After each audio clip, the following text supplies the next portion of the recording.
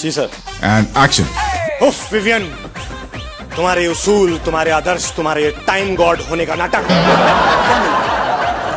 एक खोखली दोस्ती ये दो कठपुतलियाँ मेरे पास माँ है। और सबसे पहले मैं तुम्हें याद दिला दूँ कि दोस्ती की बातें तुम्हारे मुँह से अच्छी बिल्कुल नहीं लगती। और रही बात माँ की तो तुम जाए जो कर लो। माँ जाएगी तो मेरे साथ। माँ तुम मेरे साथ मेरे आलिशान घर में चलोगी। इस विवियन के साथ नहीं। मैं टाइम गॉड हूँ भूलना मत माँ। माँ कुछ तो बोलो माँ। माँ? ने घूमी है। मैं तब वापस आऊँगी जब मैं तुम्हारे बर्ताव में चेंज देखूँगी। भाई ये काम कर सुन। ये वाली माँ तू ही रख ले।